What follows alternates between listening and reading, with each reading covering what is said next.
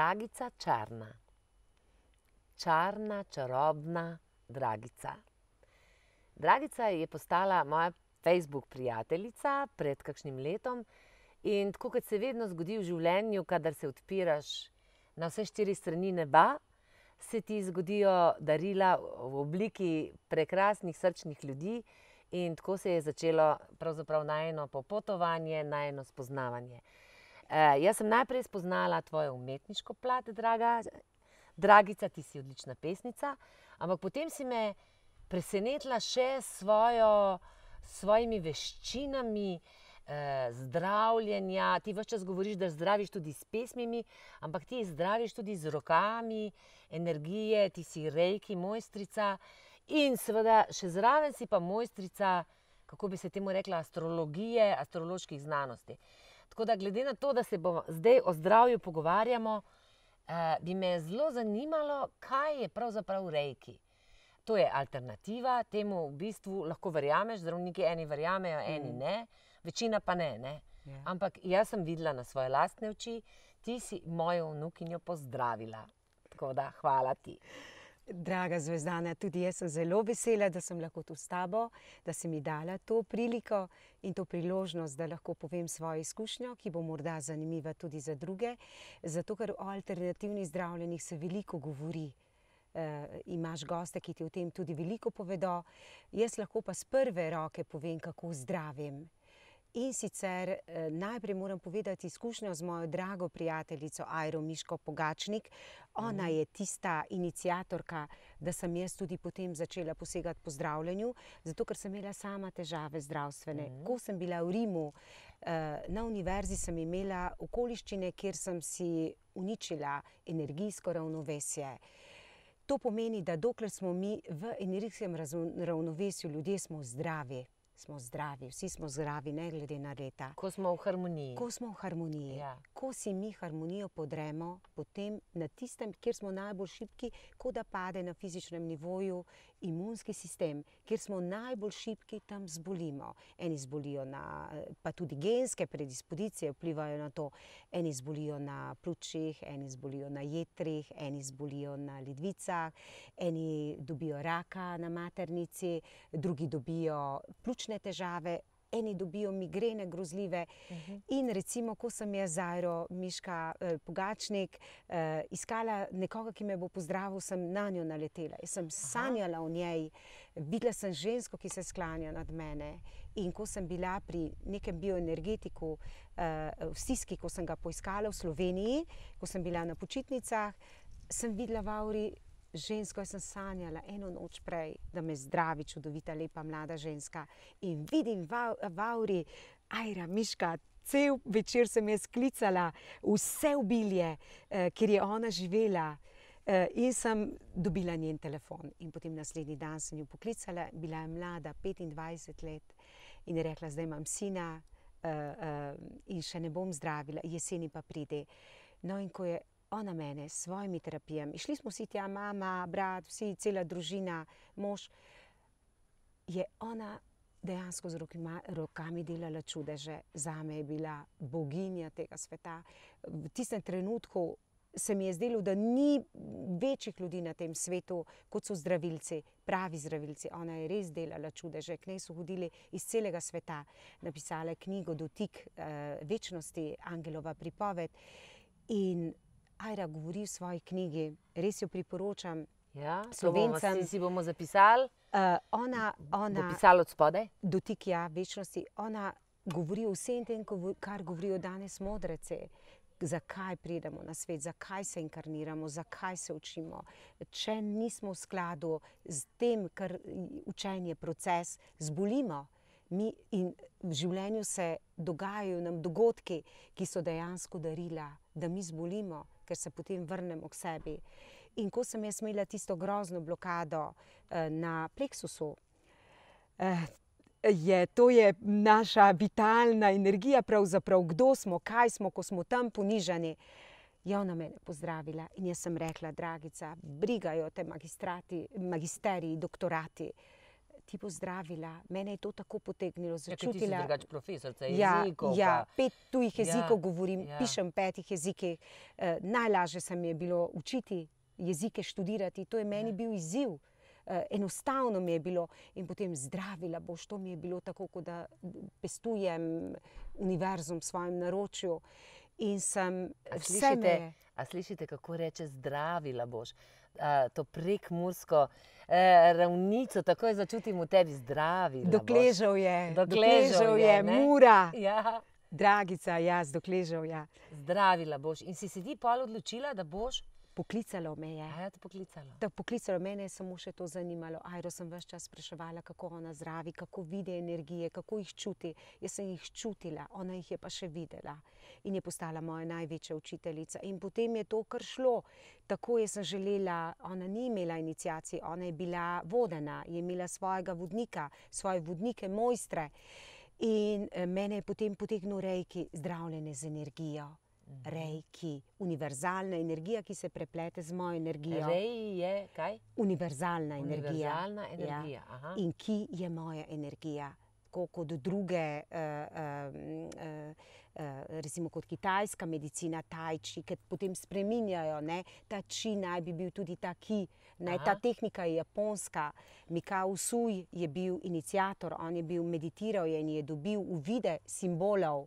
In to so močni energijski simboli. In recimo za rejki se inicira, ti ne moreš to kar delati, zato ker lahko od kogarkoli, ki ga zdravimo, potem tudi njegove, njo, njegovo bolečino po, potegnemo na sebe. Ja?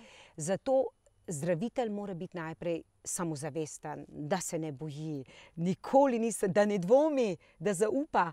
Nikoli, ko kogarkoli dobim svoje roke, ko mu polagam roke, jaz ne dvomim, da mu moja terapija ne bo pomagala, ampak ne zavisi od mene, zavisi od, od tiste duše, ki je pri meni, kolikor mu je dano. In če je meni dano, jaz lahko to dušo pozdravim, lahko ji ogromno pomagam. V vsakem primeru je ta duša k nam napotena, da jo usmerimo tja, kamor mora iti. Ampak to si ti morala študirati, oziroma kako prepoznamo. Se veš, danes ljudje naredijo nek tečaj ali pa si kar celo. Jaz sem tudi to že doživela, da reče, da je študiral rejki, pa je tam dva članka prebral, pa že je že zdravil. veš kako? Jaz sem se to 25 let dobesedno pripravljala, eh, da sem postala mojstrica Reikija.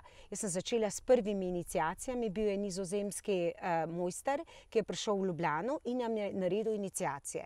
In potem naslednje inicijacije sem imela učiteljico Belgiko. Kaj je to inicijacija? Eh, Kaj je to konkretno?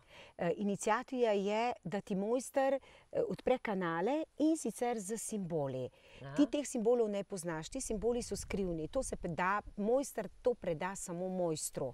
Aha. Te pre, pre, pre, jaz sem to zvedla, ko me je inicirala eh, ta moja učiteljica, Belgika, po poreklu Italijanka, v mojstrico. Ona je mene leta pripravljala na to uh -huh. in sicer ti inicira eh, simbole, ki jih ti ne vidiš, štirikrat ponovi. Najprej ti odpira tretje oko, potem ti odpira kronsko čakro, ki, kjer te poveže z univerzumom, potem ti odpira čakro srca in odpira ti energijo v rokah, s katero boš ti zdravila. In ti vse štiri inicijacije naredi na vsako in to štirikrat. Ne, zdaj natančno eh, ne morem pokazati simbolov, ker so skrivni. Ja, razumem, razumem. Ampak te pripravi na to. In potem ti s prvo inicijacijo zdraviš samo sebe in tvoje najbližje, in to je na dotik roke.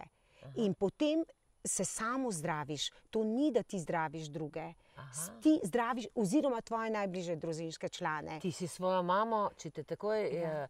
Takoj sem jo začela zdraviti. Tvoja mama so parkrat rekla, da bom, mislim. Zgodba- Mojo mamo sem začela zdraviti, ker, je bila, ker smo bili tako močno energijsko povezani, s karmično povezani. Jaz sem čutila njeno energijo, sicer čutim energijo kogarkoli. Mama je imela težave, angino pectoris, še čisto mlada sem bila, 35 let, eh, sem čutila njeno bolečino. Jaz fizično čutim kogarkoli, ki bi mi zaupal, ki pride v moje roke, ker ima blokirane energijske centre, jaz to v rokah čutim. In dokler tega ne sprostim, jaz ne grem naprej. La, Aha. lahko traja terapija dve uri, lahko traja uro pa pol, jaz se prepustim. Ker smo vodeni, mi začutimo, kako moramo iti naprej. In ko je bolečina, več bolečine čutim v rokah. Dlje se zaustavim, sem že zdravila koga celo dopoledne, štiri ure, dokler sem sprostila energijsko, ker k nam pridajo različni ljudje. In pri mami sem takoj začutila bolečino v srcu, bolečino v vratu, ker pa kasneje, ko je delala analize. In tudi, če nisem imela dve uri časa, sem rekla: prosim te, univerzum, vsi moji mojstri, zdravilci, ki jih vedno pokličem, naj se zgodi najviše dobro moje mame, vedno zaprosimo, ne kar je naša volja, niti kar je volja tistega, ki nas prosi, ampak kar je njegovo eh, poslanstvo na tem svetu in kar je eh, načrt njegove duše. Če nam je dano, jaz lahko tebe pozdravim, kogarkoli in če je tisti duši dano. In meni je bilo dano, da sem lahko mamo pozdravila, tudi ko je imela, in še moja prijateljica mi je pomagala, Marjeta. Eh, ko so jo popolnoma odpisali tudi pri možganski kapi, Ja. da ima en procent možnosti, da preživi. Ja. Smo se vključili z Reikijem nadaljavo, jaz in moje prijateljice. In je, jaz sem bila v Španiji takrat in je moja sestra bila pri njej in je rekla zdravnica in zdravnik, poslovite se od nje, ne bo preživela. Oziroma, v komi bo toliko in toliko časa, lahko da vas nikoli več ne bo prepoznala. In, nikoli. in je bila moja sestra metoda pri njej in se je od mame poslavljala in je rekla: Veš, mama, lahko uh, rada te imam, odhajaš, glej. Ti me slišiš, ampak ne moreš govoriti, ne moreš se premikati. In moja mama reče: Metoda. je rekla, Jaz te čutim, govorila je po možganski kapi, ko imajo tako močni, ko imajo eno. En procent možnosti. Zdravnik na nevrološkem uh, uh, oddelku kliničnega centra v Ljubljani je rekel: Ti si čarovnica. Ko, mi je, ko sva se pogovarjala, potem tako jaz sem prišla potem domov, sem jo zdravila. Mama skoraj posledic kapi ni imela, šla je v Laško, vendarle. In potem, ko je imela uh, nogo, čakali smo pet let, da ji nogo odrežejo, popolno infekcije noge. Ko jo je na kliničnem centru zdravnik gledal njene žile, ki so bile popolnoma mrtve, ko so, se, ko se je. Ko so kapilare uživele, je klical vse svoje asistente tam, eh, pridite, pridite, a ste vi Marija, a ste vi Marija, ne bom rekla primka, a ste vi Marija, a ste vi Marija, a ste katera druga. Njeno, eh, v noge se je vrnilo življenje. Mi dve s prijateljico pomagala mi je moja prijateljica zdravilka. Uh, sva delali terapije, vedno, ko sem prišla v Slovenijo, ker sem z Brusla prihajala, mojih zadnjih deset let sem prihajala zdraviti samo mamo. In smo ji pozdravili skoraj vse, tudi ko je bila lani eh, na smrt bolna, pljučnica, je rekla zdravnica, nocoj bo umrla po noči, nima možnosti, da preživi. Pa je to možno, zdaj te bom kar mal prekinila, samo. Je to možno zato, ker ste vi dve bili tako povezani, ker je bila med vama taka močna vez, vem, da si imela mamo strašno rada. Ja. Ali, bi, ali bi to lahko tudi koga drugega tako, po, tako pozdravila? Namreč jaz sem bila do nedavnega, dokaj, eh, kako bi rekla, sem dvomila v to in eh, bi nekako rada vedela, kako si ti to razlagaš, oziroma najprej na prvo vprašanje, ali je to bilo samo zato, ker si bila z mamo tako povezana, oziroma kako si naj mi, ali pa tisti, ki naprimer zdaj eh, razmišljajo, kaj zdaj ta dragica govori, eh, kako bi jim, kaj, kaj bi jim rekla. To zagotovo drži tvoje prvo vprašanje. Z mamo sem bila izjemno energijsko povezana in je bilo zdravljenje hitrejše. Mhm. Verjetno sem tudi kakšno stvar od nje vzela na sebe, zato ker ko je energijski preplet, tudi če jaz zaprosim, da me čuva univerzum in zaupam, da, da eh, kanaliziram energijo univerzuma, eh, da, da nekaj tudi na meni ostane. Aha. Ne? Oziroma, mama je blazno hitro, kakor sem jaz začela dajati, ona je takoj čutila. Ja. Drugi rabijo malo dlje časa, ampak vsi čutijo. Kogarkoli sem zdravila, imela sem v Bruslu, recimo. Uh, uh, Jaz sem tudi čutila, naprimer, vem, ja, ti rečeš meni, da, sem, da si z mano in jaz čutim neko ja. toplino. No? ja. Ampak kaj so to zvezde? Se tem Ne, to je univerzalno. Mi smo vsi energija, eh, mi zdravilci uporabljamo univerzalno. Ti zaprosiš univerzum, najvišjo inteligenco univerzuma, mojstre, vodnike, tisti, ki to vidijo, vidijo, da te vodniki, ki pridejo in pridejo, mi zdravimo s frekvenco, kakršno frekvenco Aha, imamo aha. kot ljudje. Na to frekvenco se navežejo energije. Jaz ne morem odločati, kateri mojstri mi bodo pomagali. Oni me poiščejo, ne poiščem jih jaz. oni pridejo in ko zdravim, jaz imam točno, prva je Aira Pogačnikova, ki jo pokličem, ker je že pokojna. Ona je prva, ki jo pokličem, potem pa pokličem od Jezusa do Bude, vse pokličem. To ni, ni religije. Zdravilci. Aha, Vsa religija vsega sveta. Vsega sveta. To je univerzum. Mi, vsaka, vsaka kultura dodaja civilizacija različna imena svojim bogovom, Ja. ampak bistvo je eden. In to je ljubezen, to je, kot smo danes slišali, eh, to je eh, radost, to je to. In ti delaš s srcem. V začetku sem to pozabila povedati. Zdravitelj mora delati s srcem. In tudi mojster ne posveti nikogar, če tega ne dela s srcem in z ljubeznijo. Mi moramo, mi moramo. Treba je delati z dušo in srcem. In ko začutiš, in sem imela v Bruslu, sem imela eh, gospe, ki so delale, ki so bile psihoterapeutke, ki so Ja. delale z ljudmi, ki so delali samomore, ki so imeli eh, atentate, terorizem v Belgiji. In gospe niso, in so jemale eh, antidepresive, po noči niso spale.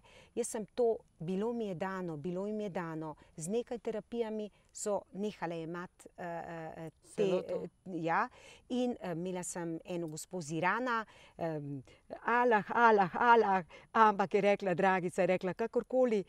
Uh, uh, zgubila je 10 kg z terapijami, ker je hormonski sistem ni bil v ravnovesju, energijski sistem ni bil v ravnovesju, ona je izgubljala težo, voda je utakala iz nje. Jaz nikoli ne vem, kaj mi bo dano, ampak tudi vedno verjetno- zaupam. E, a si že naletela, da se naprimer, nekateri ljudje pa na to ne odreagirajo? ne pridejo. Ne pridejo Taki ponavadi. ne pridejo, če pa pridejo, eh, pa jim vedno povem, da jaz nisem tisti, ki delam čudeže. Ampak zavisi od tega, kaj je njemu dano in kako se odprejo za energije. Aha. Če pa nekdo ne želi. A Veš, zdaj, ki si rekla, naprimer, da, da, da, da depresijo, pa tako, k tebi bi prišel nekdo depresiven in bi rekel, prosim, zdravi me.